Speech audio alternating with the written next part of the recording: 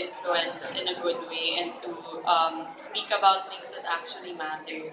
Kasi um, to be an influencer, it's such a blessing to have people listen to you, to have people interested in you. Just, just parang pag finollow ka kasi ng isang tao, that means they want to know more about you. They want to, you know, they want to see your posts. They want to see what you think about. That's why they follow you kasi they're interested in you as a person.